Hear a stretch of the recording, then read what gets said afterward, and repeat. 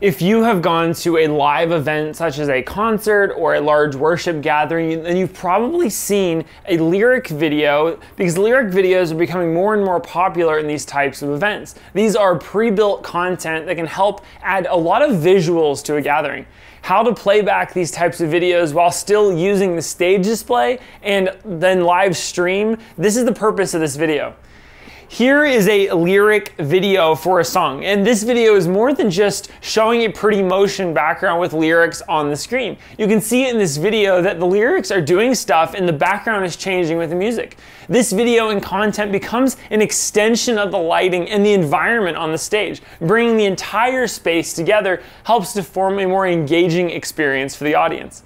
Hi everybody, I'm Nathan from Crazy Amazing Designs. I train and educate leaders to do church and event production with excellence. I do this through these types of training videos on my YouTube channel. If you're looking to learn even more about ProPresenter 7 and how you can better utilize it in your church or maybe other topics such as live streaming, then sign up for a Zoom training session with me. The link is in the description. Now, back to this fun topic. A while back, I did production for a youth conference, and the venue had these two large screens. So before the event, I built a bunch of custom content for each of the songs, and I synced the playback to the multi-tracks via timecode. And as the cool content played on the front double wide screens, there was another screen in the back that we used for a stage display to show the lyrics and stuff to the team on stage.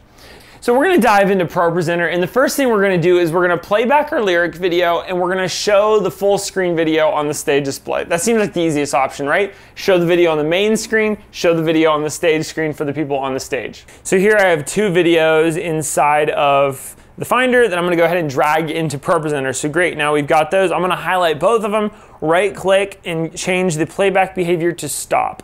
Now I will go ahead and create a new presentation item. We're gonna call it worship videos. Okay. Now playlist, we're just gonna send it to the sample playlist and I'm gonna hit new.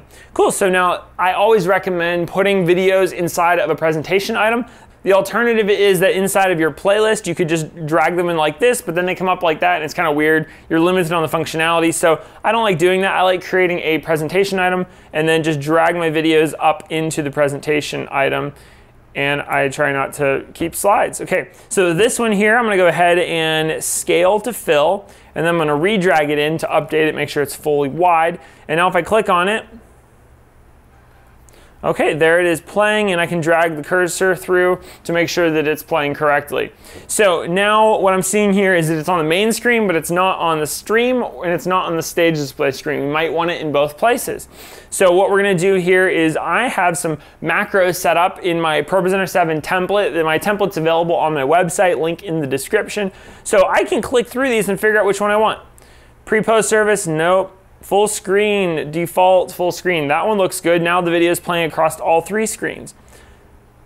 So we could do that. We could just drag that full screen one to this, and now we have that video playing across all three screens. Okay, I'm gonna delete this macro because I wanna show you how this is actually set up. So if I right click on this, you can see if I edit actions that we have a look applied and we have a stage display layout applied. So let's clear this. And of course it's gonna do that because let's go back to the worship one. Cool, so now we just have it on the one screen again. So let's go up into screens, edit looks. So you can see here I have a full screen, default full screen, and basically on both of my outputs, my main out and my stream out, the everything is going. So full screen everything, nothing's being removed or changed or anything. So to make this live, it's gonna put the video on the stream out. So now for the stage display, that happens somewhere else. We're gonna have to right click, go to add action, stage, and now on my stage screen one, which is my main stage display output to the team on stage, I'm gonna go down and find one that works. And I'm gonna go full screen, and now if I click on this, you can see that it's on now on all three screens full screen. The reason I was able to click on that full screen stage display layout is again because in my ProPresenter template, here click on more than stage editor and it'll open up the stage display editor and you can see here at the bottom is my multi-view and all of the different stage display layouts. One of my stage display layouts is full screen. So if I click on that, I can go over to fill and it's set to screen preview main out. So now whatever happens on the main output, that's gonna go to the stage display. So now when I click on the video, everything plays. Beautiful. So as you can see, this works, but it does not allow us to set up a proper stage display layout. So if I go to a song, any song, click on the first slide, and then put click on the first lyric slide, you can see here in the bottom right, if I make the stage display full screen, we've got our current and next slide text, and then we've got current and next slide chords. So if we want to maintain that functionality, then we need to do something different. So in this next demo, we're going to play back our lyrics video with lyric slides that's going to give us a proper stage display. So to do that, we are actually going to set up the song inside of ProPresenter. To do this, I will go up to search in the top left of ProPresenter, go to CCLI, and then paste in the song name, and I'm gonna go ahead and click on it. And I actually have a video that covers how I do this. You don't need to watch me do it right now.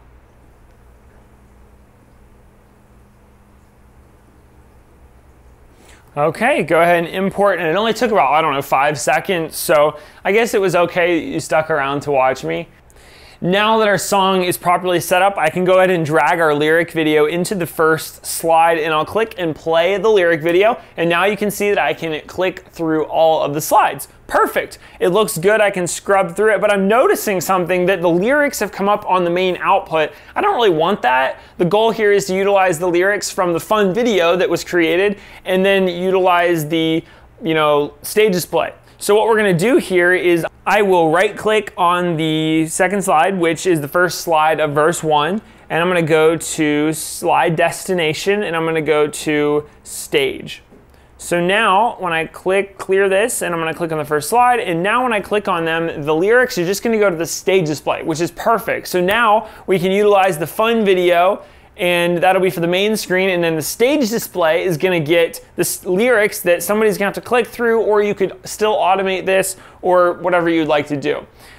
If you do want to automate this, you could use MIDI cues through something like Playback or Ableton Live. You can check out my videos on that. But you could also use the timeline feature inside of ProPresenter. So I'm going to go ahead and click the red recording dot. So now I can click on the first slide and you can see here, I'll just go ahead and drag that back to the beginning.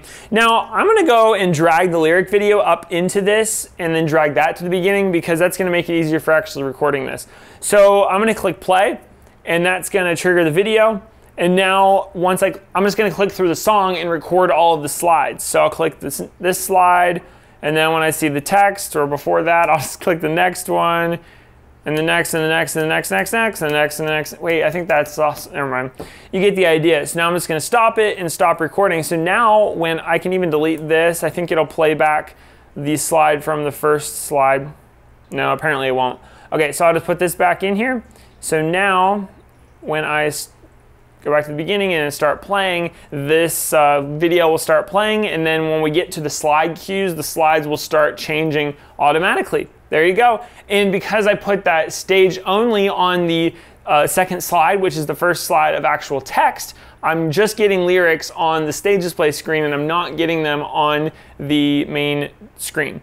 Okay, so the next kind of thing is we've now set up it all to be good. We're not getting what we don't want on the main screen, but we are also not getting anything on the live stream output. So what if you want to utilize the live stream output for your stream, but you also want to utilize the stage display for your people on stage, but you, for your audience, you want to show them the lyric video, or you have specific parts of the song that you want to show the lyric video for, and then specific parts of the song where you want to show the text for. When I did that conference a while back, what I did was I was using text out of ProPresenter the majority of the time. And then, then during that chorus of the song, I cut off ProPresenter's slides and I had that text coming from the lyric video. So what we're gonna do to set that up, I'm gonna close out of the timeline feature, and now I'm gonna go up to Screens, Edit Looks. And to do this, I'm gonna go to the worship look, I'm gonna duplicate it, and now I have a new one, and we're just gonna call that worship, parentheses, and I'm gonna call it lyric video. So now every time there's a lyric video, we're gonna use this look. So we'll apply this to a macro and easily apply it to the song. So now on our main output, we wanna show nothing, okay? But then on our stream output, we wanna show no video because we don't want to show the motion video, but we do want to show the slides, so the lyrics. So on the main output, we're going to have media, which is the video, but we're not going to have text. On the stream, we're not gonna have me media, which is the video, but we are gonna have text. And then there's also a theme applied to the lower third lyrics on this output. So I go ahead and make live. Now when I click on this, we'll clear everything just to get us a fresh start. I'll start my lyric video and now I'll click on my first slide. Okay, so it's still being weird and that is because I need to remove the slide action. So now I'll clear it one more time and now I will start this.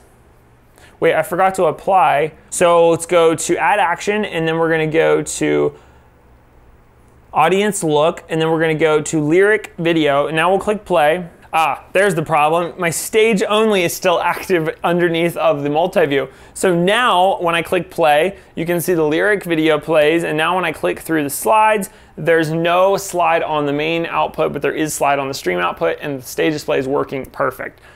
Now, taking this a step further, what we're gonna do is we're gonna set this up like I had it at that event where I used ProPresenter slides the majority of the time, but then for the chorus, I took away ProPresenter slides, but maintained the output on the stage display and on the live stream. So to do this, I'm gonna go ahead and right click and remove my action, my, uh, my look.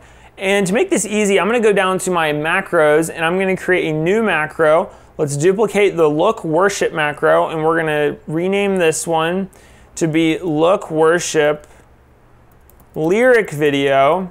Okay, and now I'll right click on this, go to edit actions, gonna go to worship, change it from worship to worship lyric video to that new look that we created. And then let's just check the stage display to see what it's on. And it's on worship, yeah, on the chords, perfect. Now, because I want to start with the lyrics from ProPresenter on the main output, I'm going to drag the normal worship macro to it. And now I'll click play and it'll start on the video. And when I click on the first slide, it's going to put the text on the main output, on the stream output, on the stage display output. So now when we get down to the chorus, wait, it's still going to do the same thing because we didn't apply our new look. So I'll apply that look there. So now I'll clear all just to reset everything. So now we're going to click through the lyrics, but then when we get to the chorus, we are going to cut the lyrics off the main screen with our new look, aka our new macro, and now we're gonna continue clicking through them and when we get to the verse two, it still doesn't come back. That's because we did not add our look. Now our normal macro is on here so that our text goes to all three outputs. Remember, nothing in ProPresenter changes unless until something changes it. So I'll try it one more time. I'm gonna clear all on everything, click play on our lyric video, Gonna go through verse one, and when I get to the chorus, it's gonna go away. And now I can click through the chorus, and now I'm at the end of the chorus, and it'll come back when I click to verse two. So you can kind of utilize those two macros, AKA those two looks, to take and remove text from your screen. And that is the gist of it. Thank you for watching this video. Consider liking this video and subscribing to Crazy Amazing Designs here on YouTube. Check out my other videos to learn more, and I will see you next time. Bye.